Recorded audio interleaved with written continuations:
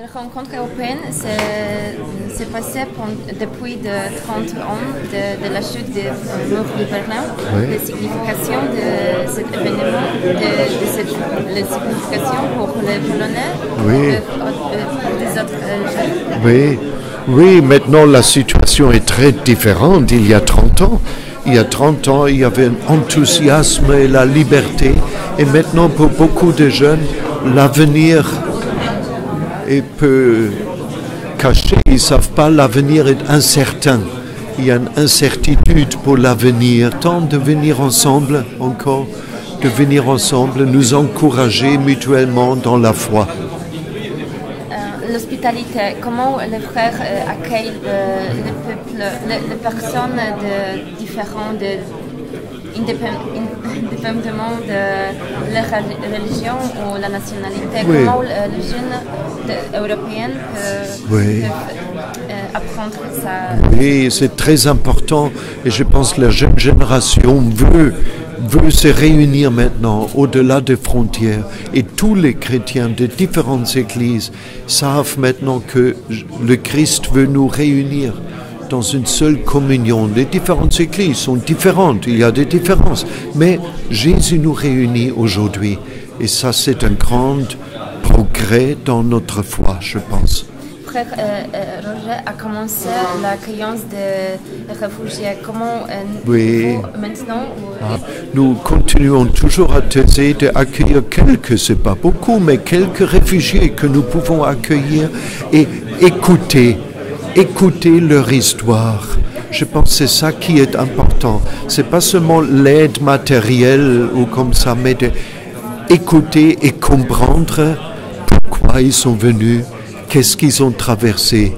Et si nous écoutons pas les réfugiés, nous avons peur d'eux.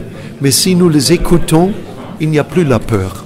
Le pays riche, le pays européen, comment peuvent-ils euh, aider les, pays peuvent maintenir les conditions de, de, dignité?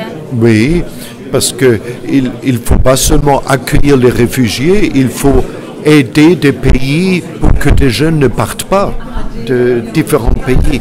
Et pour cela, il faut une économie de partenariat, spécialement avec l'Afrique, vraiment de partenariat et pas seulement des aides au développement, mais un partenariat. Nous devons payer le prix juste pour les matières premières.